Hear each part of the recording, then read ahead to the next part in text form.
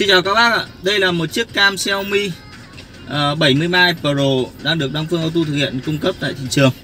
Ờ, hôm nay thì tôi sẽ hướng dẫn các bác cách cài đặt, cách sử dụng cũng như là cách ờ, lắp đặt cho chiếc cam Xiaomi 70 mai Pro này. Với chiếc cam này với với chiếc cam này thì chúng ta sẽ có những một số những phụ kiện đi kèm như sau.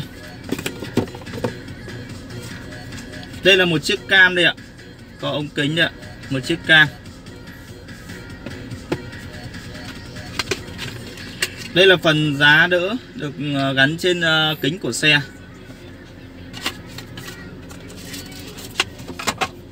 Đây là một sách hướng dẫn sử dụng ạ. Trong sách hướng dẫn sử dụng này thì cũng sẽ đi kèm một ừ, hai miếng phim.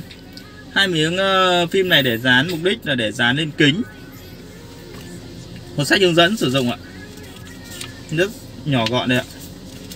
Đầy đủ để các bác có thể sử dụng được cái cam này cũng như là cài đặt các ứng dụng của nó. À, một chiếc tẩu sạc một chiếc tẩu để ờ, cấp nguồn cho cam ngoài ra thì có một cậy nhựa nữa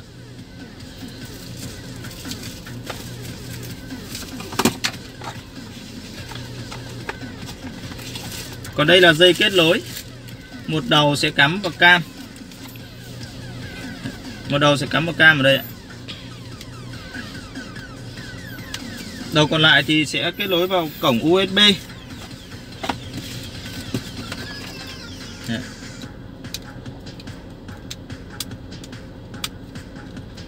một số bác uh, khi sử dụng mà không muốn sử dụng qua cổng uh, cổng USB này hoặc là tẩu sạc thì uh, với Đăng Phương Auto thì cũng sẽ có bộ đi kèm cho các bác ạ.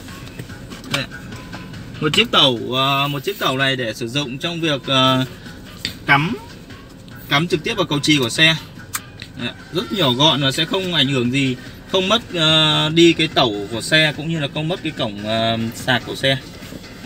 Cái này sẽ đi tiếp vào các cầu trì, rất an toàn đấy ạ. Mát. Còn đây là ACC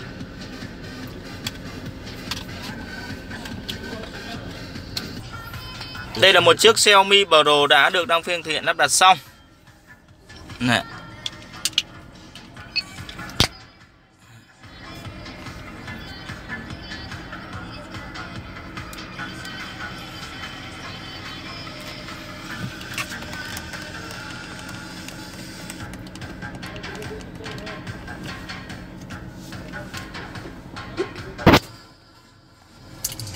Phần dây thì sẽ được đi lên trên này ạ dây trên này. Xong chúng ta có thể luồn đi theo cái mép này rất dễ ạ. Đi theo mép này. Đây là một chiếc xe ô tô nhé à, các dòng xe khác như là Mazda hoặc Honda thì chúng ta cũng sẽ lắp như thế. Sau đó chúng ta sẽ sử dụng cái ờ, tháo cái này ra. Và đưa cái này ra là sẽ có dây ở bên trong này. Đấy, chúng ta tiếp tục luồn dây qua các vị trí này. Xuống đây. Chúng ta có thể tháo cái phần ốp sườn này ra bằng cái ờ, Đây. Bằng cái cậy nhựa này ạ Bằng cái cậy nhựa này thì chúng ta có thể tháo cái ốc sườn này ra Tháo cả cái răng này xuống ạ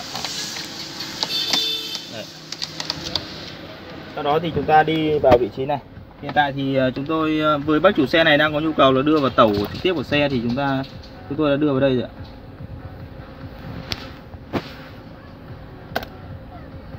Đây là phần ờ, uh, tẩu của xe đây ạ, tẩu sạc của xe cắm trực tiếp vào đây ạ. Dạ. Ngoài ra thì ờ, các bác mà không muốn đưa vào vị trí tẩu này Đỡ dây dọ ờ, vướng Thì ờ, giải pháp của Đăng Phương Auto là thực hiện việc cắm vào tẩu. Cắm tẩu đây ạ. Dạ. Thì cái bộ này thì cũng sẽ có một đầu ra hai đầu ra, một đầu vắt mát và một đầu dây ACC thì với dòng xe Cerato thì bảng cầu trì nó ở đây các bác hoàn toàn có thể đưa bảng cầu trì này.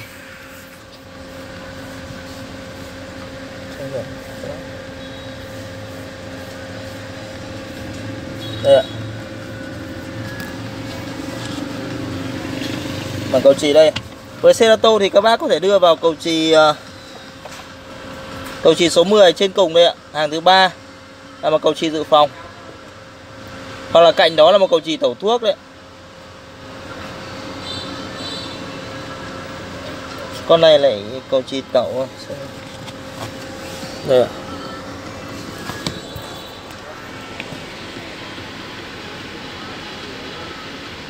cầu trì thứ hai, tẩu thuốc. Cầu trì dự phòng. Chúng ta cũng thể sử dụng à, bảng hướng dẫn cầu trì ở đây. Thì chúng ta sẽ bắt một dây mát vào thân xe là dây này là dây mát vào thân xe và một dây vào ACC tức ACC là chúng ta bật bật điện lên ạ. Khi chúng ta bật uh, on đây là tắt. Chúng ta ACC là chúng ta chỉ cần lốc này thôi. Sáng cầu trì có điện này chúng ta sẽ đưa vào tín hiệu dây này. Thì chúng ta bật ACC lên thì uh, nguồn cam sẽ được cung cấp. Khi đó thì sẽ hoạt động. Đơn giản đúng không ạ? Các bác uh, cần uh, hỗ trợ về tải phần mềm hoặc ứng dụng hoặc cài đặt uh, để xem được trên phần mềm có điện thoại thì có thể để lại thông tin à, bên em sẽ có nhân viên tư vấn nhé